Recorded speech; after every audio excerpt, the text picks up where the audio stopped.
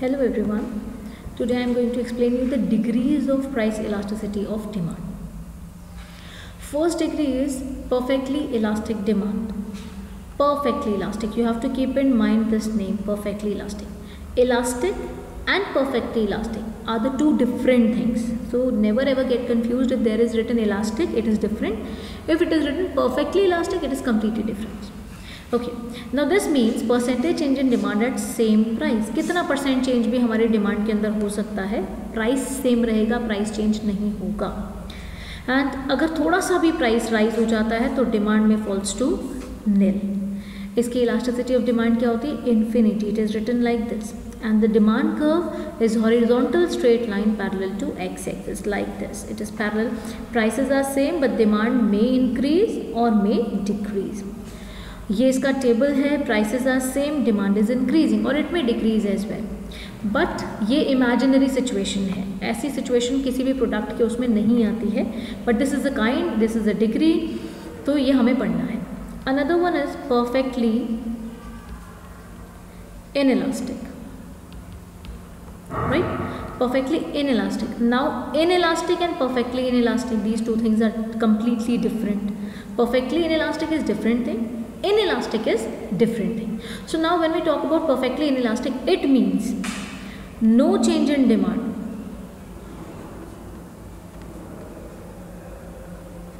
With the change in prices.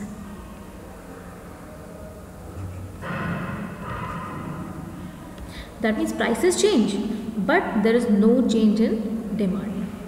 Here ed will be equal to 0 this is very important. Ed will be equal to 0 demand. How the demand curve will be made? Demand curve here will be vertical straight line. Vertical straight line parallel to y-axis. Now this will be a vertical straight line parallel to y-axis. I will be showing you the table as well as the curve just look at the table. This is price and quantity demanded. Price changes. Prices are increasing but demand is same. So now we'll make the graph also. Y price rupees quantity demanded in units zero. इसमें जो हमारी demand का होती है it is parallel to Y axis ये quantity that means price हमारे change नहीं demand हमारी बिल्कुल चेंज नहीं होगी। प्राइस हमारा इंक्रीज भी हो सकता है डिक्रीज भी हो सकता है P two right but demand हमारी बिल्कुल भी चेंज नहीं होगी. This is perfectly inelastic and this is also the imaginary situation ऐसी सिचुएशन ऑल किसी भी प्रोडक्ट के लिए नहीं होती, कि हमारे प्राइसेस में चेंज आओ और डिमांड हमारी बिल्कुल भी चेंज ना हो। थोड़ा बहुत चेंज तो हमारी डिमांड में आता है। Now the third one is highly elastic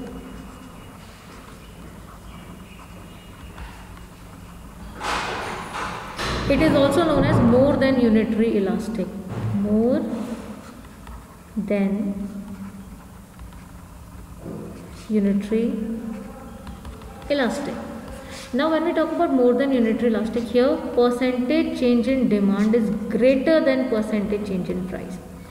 Price में अगर 10 परसेंट का चेंज आ रहा है तो डिमांड के अंदर 10 परसेंट से ज़्यादा का चेंज आ रहा होगा राइट तो now here you can write elasticity of demand is greater than one greater than unitary elastic का मतलब greater than one unitary elastic I be explaining it is equal to one right So ED is greater than 1. Here the demand curve is flatter. Demand curve is flatter. I will be explaining you how to make the demand curve and its slopes is inclined towards towards x axis. So its uh, slope is inclined towards x-axis. Let me tell you about this through a schedule and through a curve. So here this is price and quantity demanded. price increases from 10 to 20 right and uh, demand demand was 500 and because when prices are increasing, demand becomes 100 price में कितना change आया demand में कितना change आया let me explain you about it हम लोग यहाँ पे देख सकते हैं प्राइस में 10 का चेंज आया डिमांड में 400 का चेंज आया. अब ये हम ऐसे नहीं देखेंगे कि 10 का चेंज आया 400 का चेंज आया. हमें देखना कितना परसेंट चेंज आया. कितना परसेंट चेंज आया तो आप इसके अंदर देख सकते हो कि 100 परसेंट आया या नहीं आया? Now just look at it price का change percentage change in P कैसे देखेंगे? P one minus P upon P into hundred P one क्या है? Twenty minus ten over ten into hundred zero से ज़ीरो गया. Twenty minus ten is ten ten into ten is hundred percent अब देखो, यहाँ तो हमें दिख रहा है परसेंटेज चेंज इन पी कितना है? Hundred percent percentage change in Q इससे ज़्यादा होना चाहिए। अगर इससे कम है तो हमारी ये वैल्यूज़ क्या होंगी? गलत होंगी।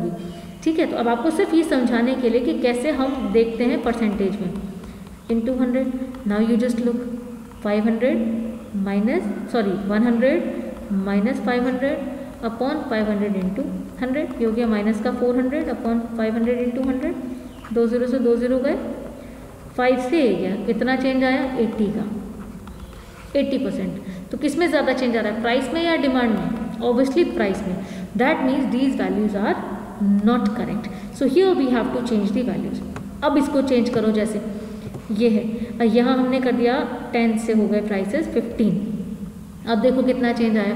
तो यहाँ चेंज हो जाएगा fifteen minus ten upon ten into hundred तो ये हो जाएगा fifteen five into ten fifteen minus ten fifteen minus ten five five into ten is fifty percent this can be the correct example कि price में five का change आया। Five का मतलब कितने परसेंट 50 परसेंट का चेंज आया और डिमांड में हमारी 80 परसेंट का चेंज आया। तो when the demand changes by more percent and price changes by less percent then it becomes high elastic demand now I will be explaining you by diagram this is X Y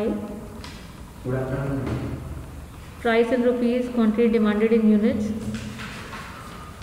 0 now you can look at it.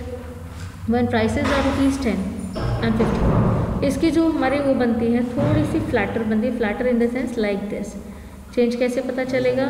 Price में कम change demand में ज़्यादा change you can look at it you can look at the difference price थोड़ा सा कम हुआ डिमांड ज़्यादा चेंज होती है. So this is how we make the high elastic demand का this is the DD.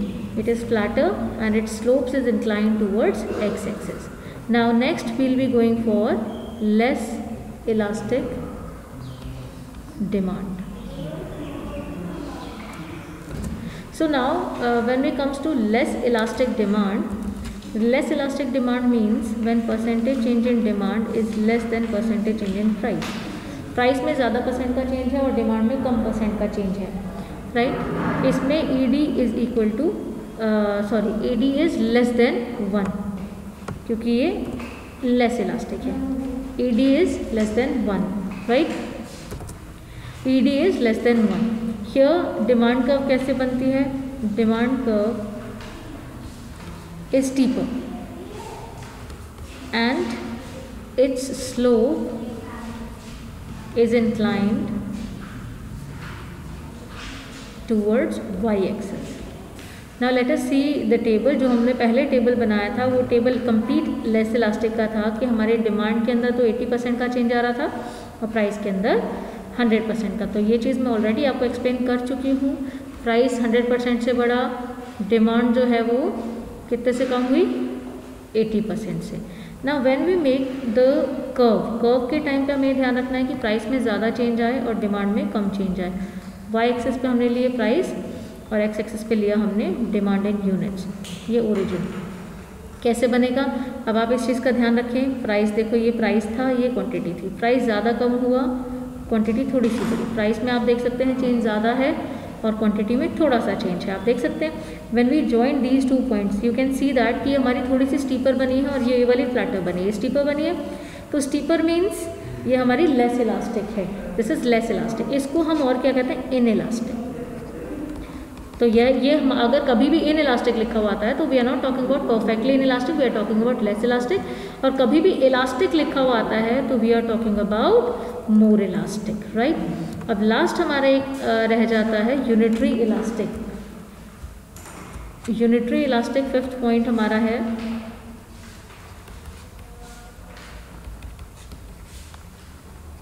Unitary elastic demand में क्या होता है? Percentage change in demand is equal to percentage change in price बिल्कुल सेम होता है। ठीक है? Here E D is equal to one इसको यूनिटी भी कहते हैं। Right here demand curve is normal जो भी चेंज हमारे उसके अंदर है, इसके अंदर डिमांड कर्व को हम रेक्टेंगुलर हाइपरबोला कहते हैं।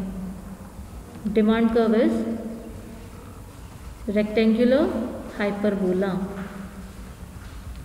right rectangular hyperbola क्या होता है कि जो भी हमारी कर्व है, उसके नीचे जितने भी रेक्टेंगल्स है, सबका एरिया उस पॉइंट के नीचे का जो एरिया है, वो बिल्कुल सेम होना चाहिए।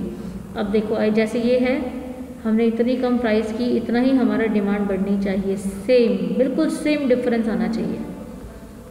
अभी मेरे पास स्केल नहीं है। ये जो गैप है should be equal to this ये जो गैप है should be equal to this तो ये जो हमारी डिमांड कर्व है, ये तो ना तो स्टीपर होती है, ना ये फ्लैटर होती है नॉर्मल डिमांड कर्व है।